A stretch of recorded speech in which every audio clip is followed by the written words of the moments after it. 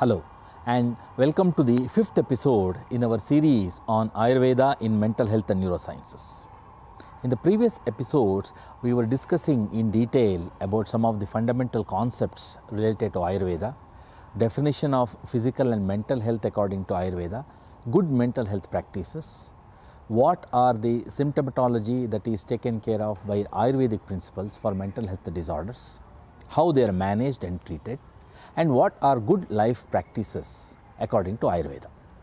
Now we will change our focus a little bit and discuss about Ayurveda and its application in neurological disorders. Come, let us meet our expert.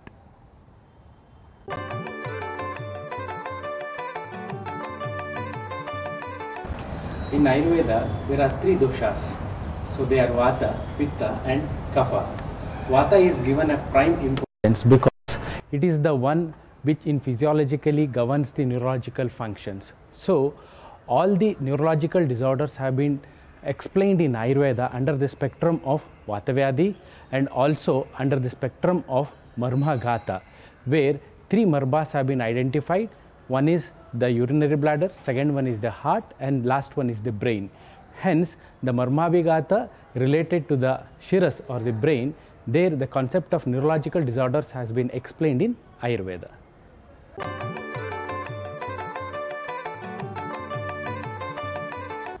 The neurological disorders in Ayurveda are classified into two types based on the pathology involved in it. So the first classification is the Dhatukshaya or we called as tissue depletion or the degeneration. The second one is called Avarana where there will be impedance to the movement or the normal functions of Vata. And from the treatment point of view, again, the neurological disorders are classified into two, where the neurological disorders exclusively caused due to the Vata or the neurological disorders caused in other doshas associated with Vata.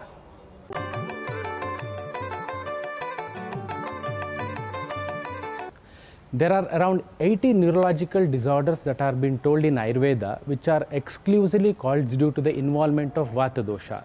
Apart from that, there are also few of the main neurological disorders that have been mentioned in Ayurveda like Pakshagata which is equated to that of the cerebrovascular accidents. There is called as Adharanga Vata which is paraplegia. There is Ardita which is equated to the facial paralysis and there is Sarvanga Vata where all the spectrum of the degenerative neurological disorders come under it.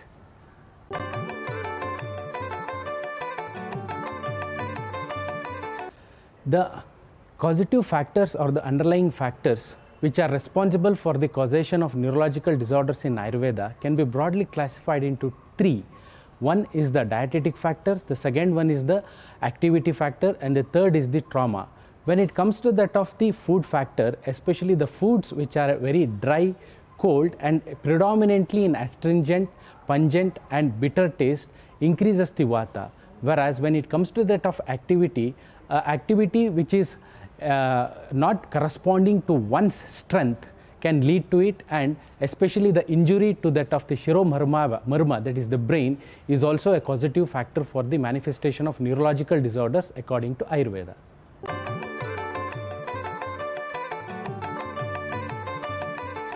The symptoms of neurological disorders in Ayurveda are basically or mainly identified through clinical examination.